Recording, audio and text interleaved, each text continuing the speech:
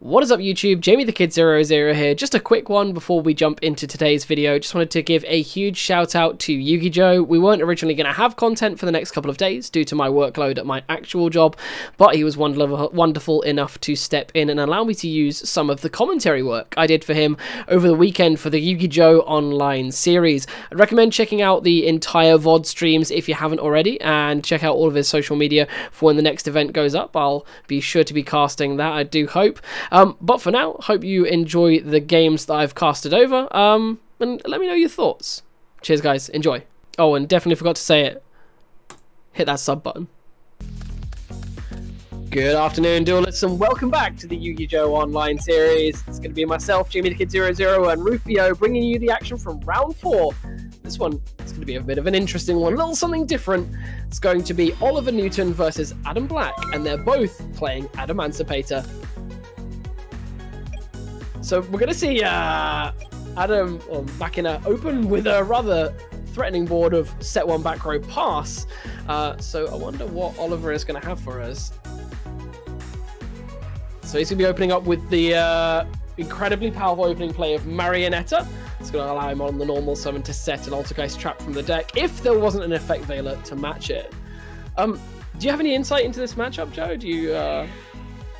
Uh, I'm, I'm quite honest and quite open. Uh, Altergeist is probably my least favourite deck that exists. so seeing it in action is one thing, but uh, Blackie's one of our boys, so uh, mm-hmm. it'd be quite funny to see him on stream. Yeah. See how he gets on as well. Mm-hmm, mm-hmm. So I'm hoping he's gonna have a, a, more productive normal summon. It's obvious he didn't have the Marionetter from the original normal summon. Well, lack of a normal summon.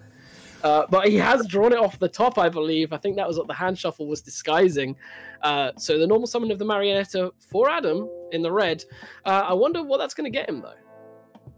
So it is, it is actually going to go through, which is better than the situation for Ollie's one. He is going to add a protocol, an incredibly powerful trap the deck has access to. It looks like he's just going to crash the Marionetter into its opposing number. Makes sense. I think it's wise. Uh, it doesn't really serve too much of a purpose having on the field, aside from using that protocol. And if that's a manifestation he's just set, then of course he can get it straight back as a resource. Oof, but the spoofing in the end phase is going to allow Ollie to shuffle back in a Silquitous, and I'm almost certain we're going to see a multi-faker added off of that. If there wasn't an Ash to match it. Big Ash energy. Mm, mm, mm. And I'm not too familiar on the rulings on that. That's so interesting that it's a cost to send back. So the ash is actually impactful here. Yeah, there's some kind of like weird scenarios in which you could use it to like bounce around floodgates and things Ooh, like that. Speaking of the manifestation, it is going to be activated to bring that Marionetter back from the graveyard. Oh, no, sorry. It's going to be flipped and used on spoofing. My apologies. Again, just like before, we're not in the voice chat, so we're not going to see them communicating their effects. Uh, but spoofing is actually going to put back that manifestation. And now it's going to get the multi-faker. And this is obviously a big part of their sale. Multi-faker is crucial mm, to the mm, mm. strategy mm. that they employ. So this and is of course the manifestation resolves, bringing back the marionetter. So there's going to be a lot of damage coming in pretty fast. Do you think that uh, multi-faker is going to be summoning? Uh, I forget the name. The mermaid the blue. Uh, I would have thought Silk personally, but we'll see. Mm -hmm. Usually, when they're going on the on the offensive, we can we can often see them searching out the blue one. I suppose that they can get there. It is, sorry, the Meluseek. Yeah, the Meluseek. But it is going to be met with a torrential tribute. That's a big old blowout. Unless there's something to stop it. I don't think there is. No, My Body as a Shield in sight. However, there are going to be a few recursion effects. So Marionetter and Multifaker don't have any value here, but Meluseek is going to allow for an add of a monster from the deck to the hand. And most importantly, Ollie hasn't even normal summoned here, so he could just add another Marionetter and set himself up a, a pretty negate. Yeah, he's already got three cards in hand, plus that now as well, so that puts yeah, him in a good so place. Even with the massive blowout potential of Torrential Tribute, we, we just don't see anything happen. So a manifestation is going to be triggered for uh, for Adam. And that's, of course, going to be bringing back the Marionetter in his own graveyard. I wonder if he's activating this to use, say, a multi-faker that, in, that he has in his hand, maybe. Potentially. Because I'm not sure how far this gets us, unless he's just setting up the um, the protocol uh, to negate uh, Ollie's Marionetter. That's potentially the, the line of play I see here. Yeah, it could be. Mm. Of course, Ollie can't dodge, uh, can't use uh, spoofing to dodge any effects like that either, because spoofing has been used this turn uh, on the manifestation. This is quite an interesting matchup actually, because both of these are very well versed at these decks. Yeah, both So, players have been uh, playing this in excess of a year. Yeah, so hopefully we'll we'll see a nice back and forth here, like we're actually starting to see at the beginning. Yeah, very much so, very much so. So it looks like Ollie's just working out where he wants to take this play, and he is going to set one back row and pass back to Adam. So let's see what Adam has here. He takes a draw. The protocol is flipped, so he's obviously going to activate an effect that he wants to have protected. Uh, or potentially he's just using that to trigger a multi-faker in his hand. There you go. So the multi-faker does come down, and its effect should be successful in resolving, except... Uh, uh, well, of course, the, pro the protocol gets negated by that impermanence. Memory serves. Bit of a weird interaction going on here. So I think with the way that uh, impermanence would negate simultaneously, there's a potential that uh, even though the impermanence would be negating the protocol, the mul- the multi-faker couldn't have been negated. So he has to go activate the ash and then use the impermanence. Uh, again, without the communication in the chat, it's difficult for us to tell. Yep. Uh, but we are going to see its effect, its effect negated, and they're going to be linked away into a Hexstia, which is, I suppose, debatably the stronger card in this matchup because it is a spell or trap negate. And of course, we see a lot of traps hitting the board. Certainly. And spoofing's lost a lot of potential as well for both players, really, because both of their multi fakers are now out of play. There's not a lot of ways to recur them outside of that manifestation.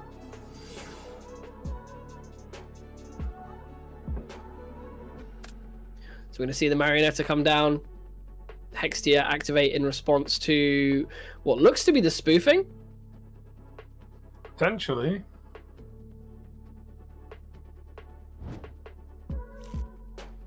Might be mistaken. So, uh, yeah, sorry. I think he uses the protocol in response to the, um, in response to the Marionetters effect, tributing the Hexstia. Uh, he then attempts to use the Hexstia's search effect, and then the Ash Blossom negates it. Uh, Ollie has, however, burned his normal summon, so with that, with only the spoofing on the field, he passes turn back to Adam. Adam looks like he struck gold and drawn the Marionetter. Certainly does. I wonder if he plays more than one manifestation. that could be really, really big here. He does. There you go. He immediately scoops it up. So game one is going to go to our uh, player in the red. That is going to be Adam. Um, what do you side in a mirror match like this? It's actually quite a difficult one because I imagine the majority of what they would side would be to combat.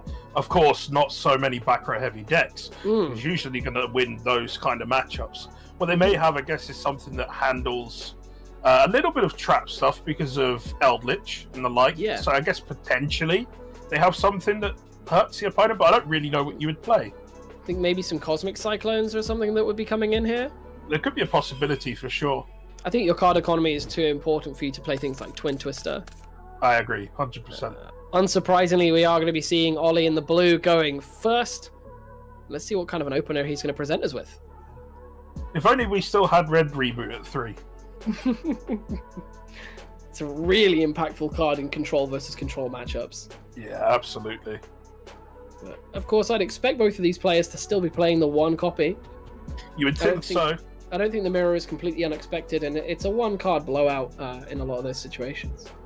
Yeah, and I think it's one of those cards that you want to have available to you. If your opponent does hit you with one, you want Hmm. an option to stop it yourself. Mhm. So a lot of the time that does come up. Yeah, so we're going to see two set cards so far.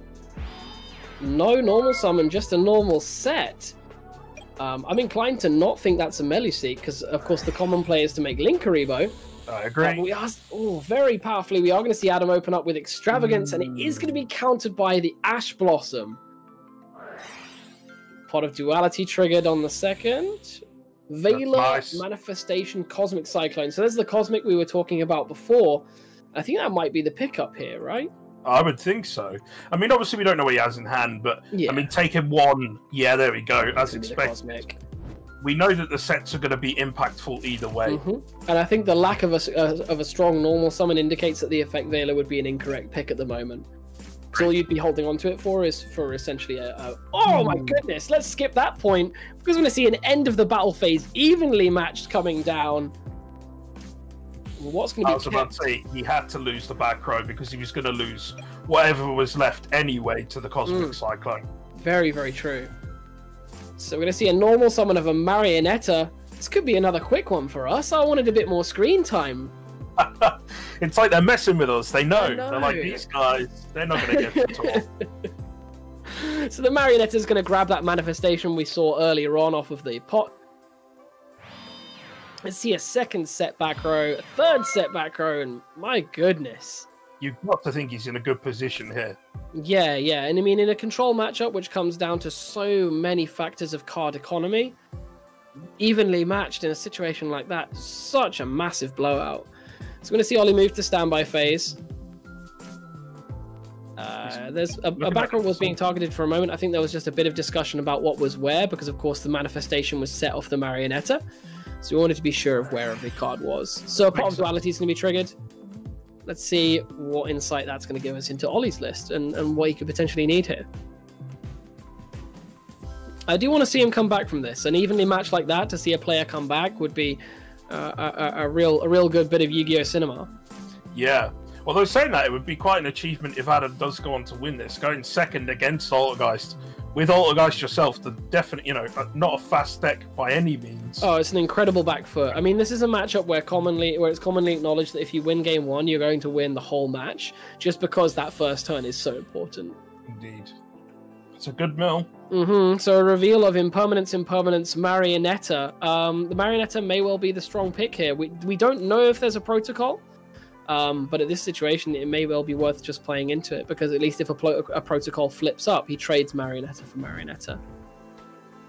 I think the impermanences are just a little bit late in this situation as well. I mean, there's already a marionetter sat on the field. It's done its job. You don't really need to need to negate it at this stage. So the set wasn't Meluseek. I'm surprised we didn't see that make um, Linkuriboh earlier on uh, to maybe set up with an extra monster. But of course, I, I don't know the matchup all that well. Uh, the Meluseek is going to uh, make a direct attack. It's going to hit. And are we going to see its effect trigger? The effect is going to trigger targeting the closest card to deck for Adam. It's going to hit a solemn strike, and it doesn't look as though the strike was chained. Of course, strike is probably not going to get us a huge amount of value here, regardless. Um, you'd basically just be trading the 1500 to stop your opponent making an extra monster. Well, he's going to move to main phase two, and I think we're going to see that Marionetter hit the board. I'd expect him to be trying to use the Marionetter to set a card and then maybe uh, try to summon a Hexstia and a Hail Mary play, especially now that we've seen the Strike go. I'm very, very confident that that last back row we don't know off of Adam would be uh, a protocol. So I feel like it's a very card, important card to have in the matchup. So the fact that he set the manifestation tells me it's potentially a protocol. Certainly looks that way. Mm-mm. So the Marionetter is going to trigger and run Resolve, so we are seeing Ollie search his deck. So no negations here. Maybe maybe not a protocol, or maybe he's just holding late for something like a Hexstia to hit the board. Again, it, like we said, you know they're both pretty well versed in these decks, so Yeah. they'll be they'll be holding resources for the right moments. You you would expect. Very, very true. I mean, we are now in the main phase too, so uh, Adam doesn't have to worry too much about Ollie advancing the game state in terms of monsters, uh, because the pressure that the monsters apply is very low outside of the battle phase. It's all just negates. So we are going to see the Marionetter link away. And are we going to see the Meluseek as well? It's worth noting that it appears that they've switched to the actual chat on the uh, on DB itself, so they are a little bit slower at going through their plays than they would be normally. Mm, mm, mm. So we are seeing a brief pause between the players. I think they will have just been discussing something in their voice chat. I am noticing that there is a judge in their lobby, so there may be a slight delay in their plays. There may just be a quick judge discussion taking place. We'll keep you guys posted as and when we get a bit of information on that front.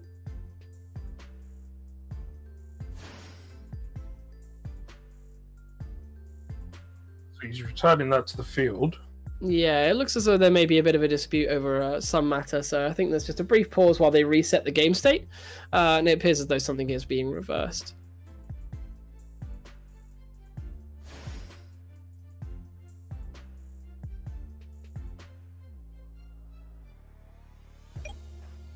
Okay, that's interesting.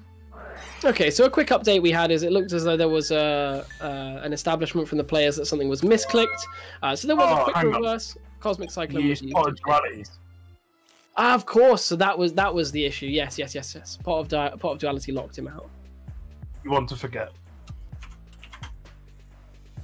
So we saw the Cosmic Cyclone used in the end phase to clear away uh, the manifestation that had been set up off the Marionetter.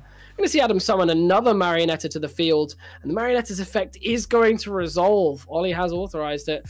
So now we see the protocol come down, accompanying that set manifestation.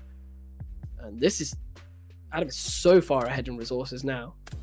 Of course, no such pot of duality lockdown here either. So he is going to successfully summon the Hexstia, and I wouldn't be surprised if the protocol flips up behind it. Sorry, the manifestation uh, to put a marionetter behind it to turn it into a rather lethal 3 1 beta. This is what this deck does. It sets up and just gradually starts to snowball. And once it does, hmm. it's actually very, very difficult to deal with. Very much so.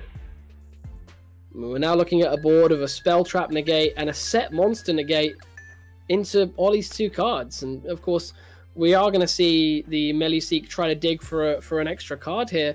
But if he doesn't have the right arrangement in hand, this could be game with the two negates staring him down. So we are going to see Marionetter added. But do you have any other insights as we potentially move into the final turn? It would just be interesting to see what he, he has. I mean, if Ooh. he's got something like evenly matched, then he might be in a good place. Um, but whether he's got that in or not is is another question. Mm, mm, mm. Okay. It's going to be a scoop up. So Ollie content that he doesn't have any further responses to that field, and we are going to see Adam take the mirror match in 2-0 fashion.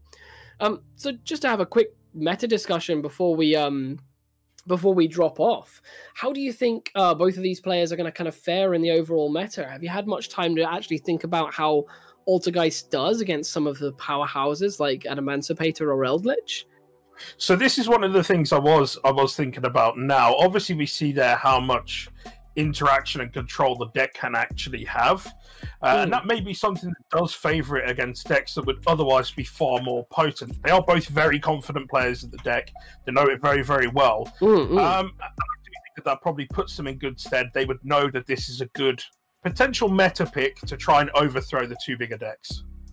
Yeah, yeah, definitely, definitely. I mean, my only real concern is that while this deck has really good, um, kind of a really good advantage system, I my main concern is its Eldritch matchup because I feel like Eldritch just does the same thing so much better, but is self-replenishing. Yeah, it's certainly a you know a very very strong deck. It's my personal belief that it's the best deck of the format. I know a lot of people disagree with that. They'll say Adamancipator, but honestly, I think Eldritch is hands down probably the I would say the most consistent and best deck overall. Mm, mm. Um, so yes, it certainly does have those control variants down to a T. It does a lot better than what a lot of other decks do. But I don't know. It must be something that they're seeing in this that gives it an edge over those decks that they would continue to play it. Or maybe, of course, it could just be a case of they're just very confident with it and want to go down that route. Very much so, very much so. Well, I'm excited to uh, to see how this will go. We'll do we'll make every effort to track these players as their journey continues through the Yu-Gi-Oh Open Series. Um, but for now, that is going to be all from myself and Rufio for our casting for today. Uh, we have got two more rounds of Yu-Gi-Oh coming up for you before we close the broadcast today, so please do stay tuned for all of that. But for now, we hope you've all enjoyed. Please do stay tuned, stick, stick with us while we go through some messages from our sponsors, and we'll be right back with the Yugi Joe online series. Hope you've all enjoyed. See you guys very soon.